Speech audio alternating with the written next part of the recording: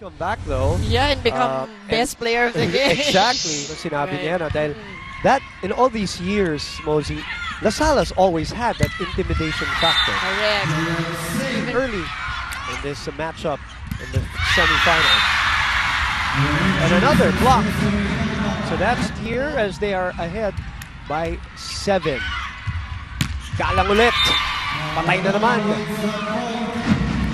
But as you said, it's been all Yes, Aragala. that's right. Four. And he's one point away from getting set number one, and they are able to do that. They get their noses ahead here.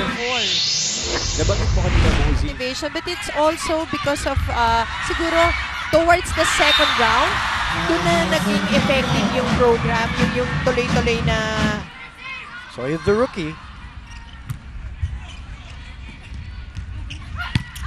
Dapat cutting, cutting that ball.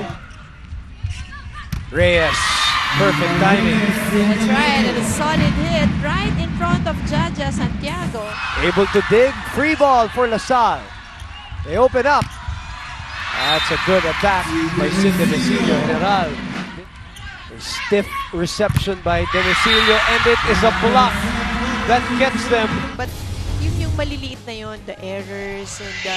which you the- pointed out in the pregame. Veteran Riza man dapat. And syempre si Jaja Santiago ay pinaalala sa kanyang teammates na hindi pa ito tapos kaya trabaho pa tayo. Back to you guys. Thank you very much, Trisha Urbedo, Kim Fardo chooses Aragalang in that sequence. That's Demesilio digging. Cheng on the other side. Sullivan to Santiago. Semesilio na naman. Ogunsanya, though, tried to... Pero yung execution again, that really mattered, especially pagdating sa distribution ng bola and the points that are coming from the different players.